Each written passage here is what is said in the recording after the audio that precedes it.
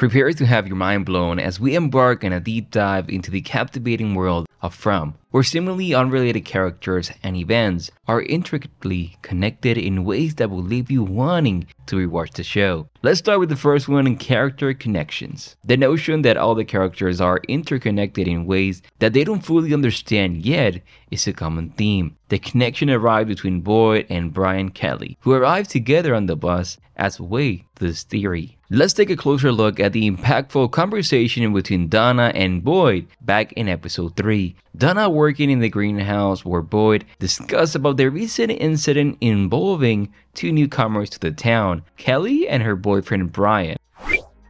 This filled with gruesome details of their encounter with the monsters underscores the helplessness and the despair that have become a part of the characters' daily lives. The brutality of the monsters' actions paints a grim picture of the challenges they face. Adding another layer of intrigue to the story is Boyd's recollection of his past. He shares a story from his first tour in the army, involving a soldier named Brian Kelly who died in his arms. The coincidence of experiencing the death of another Brian Kelly deepened the mystery and surreal nature of their circumstances. The coincidence also illuminates the psychological struggles Boyd is grappling with as he tries to reconcile his past with the bizarre and terrifying present. There's another connection like the speculation that Elgin might be Fatima's child from the future as another layer of intrigue and potential time travel elements, but that's a theory for another day. Another connection I want to explore is Tabitha bracelet connection. The idea that Victor's mom found Tabitha lost bracelet and that this somehow led her along with Jim, Ethan, and Tabby to the town is an intriguing one.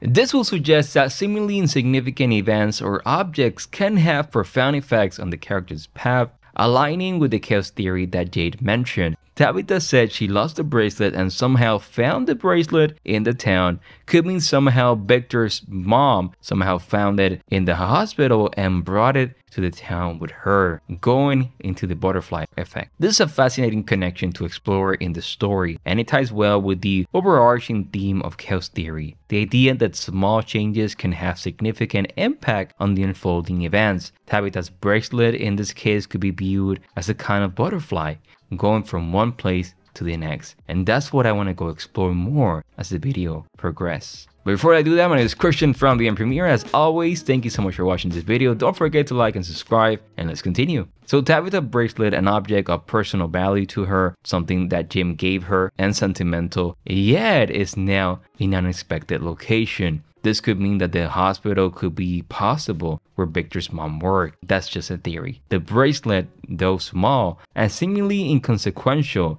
act as a catalyst, setting off chain of events leading to the convergence of multiple characters' path into the town. Makes you think the symbol that Jade's seeing, it could mean that. Maybe the quest for Jade, and I'm gonna go ahead and discuss that in a moment, is to stop this symbol, to stop the characters or people from coming into the path. Something that I, have been thinking about is how Christy's fiance arrived to the town. Maybe Christy had something of her that she brought into the town, allowing Mary to be in the town as well. So that's the only explanation that I have on how she's in the town as well, connecting to this chaos theory and connecting to the, to the video title and make you know think about it if a character brings something to the town with them that is not related to other characters that could mean that somehow they're all connected the, the very act of Victor's mom bringing the bracelet back to town could have several implications. It could mean objects have meaning. And it reminds me of that show, The Dead Zone, where the character Johnny Smith gains psychic abilities, and that this allows him to see the past and future of people and object he touched. So it connects to this, like what is the history of that particular object, like the bracelet. If we analyze objects connecting to the characters, it could mean possibly that Tabby wears Victor's mom's jacket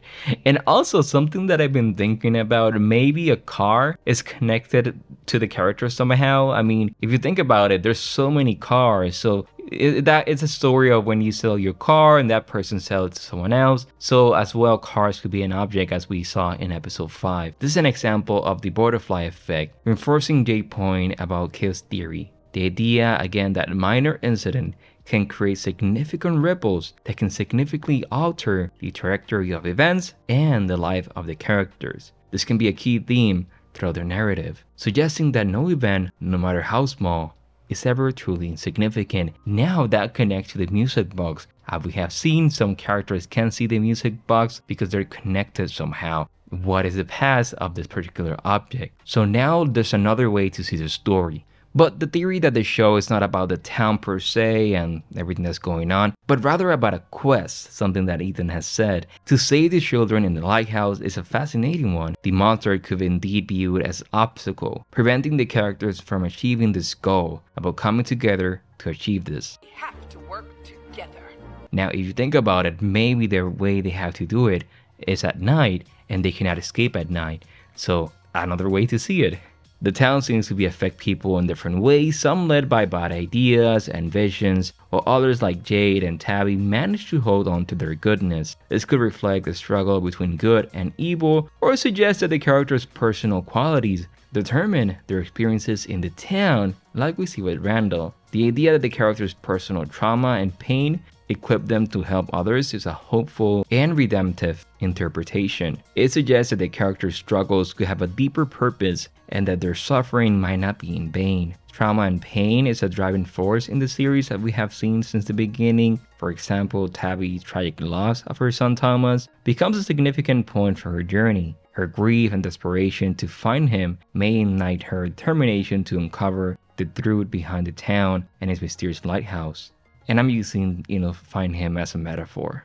Their personal trauma and her unwavering desire to save the children trapped inside create a powerful emotional arc for Tabby's character. Or if we nonsense and I have no idea what I'm talking about. Tilly, for example, having cancer, embodies resilience and the will to survive. Her fight against an illness becomes a metaphor for her determination to uncover obstacles and help her fellow characters. Something that we have seen with as well, if we're using this metaphor, is the character of Randall, focusing more on the dark parts of the town, even you know, putting Donna to a tree. Another connection is Mary's struggle with, with drug addiction. The show addresses and explores trauma, uh, adds depth to the show. We're, in, we're discovering a little bit more about the character's background and discovering as well their impact other past experience that connects to the show. If they had again one town meeting and they discuss, hey, where are you from? Tell me your backstory. Oh, hey, this is connecting to this and this and this. Okay, so we're all connected somehow, but why? That will make the show better.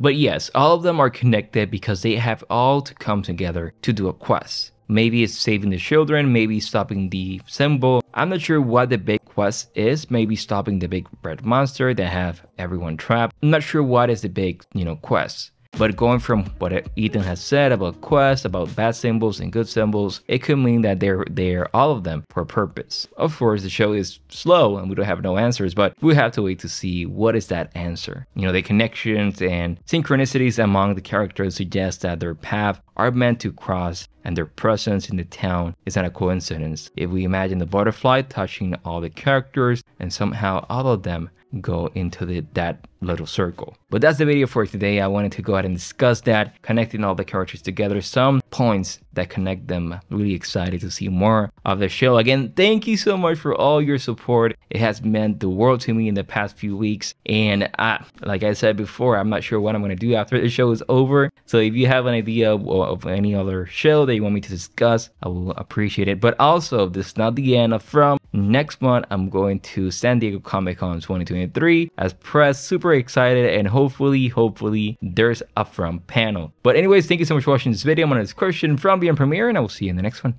Bye-bye, everyone.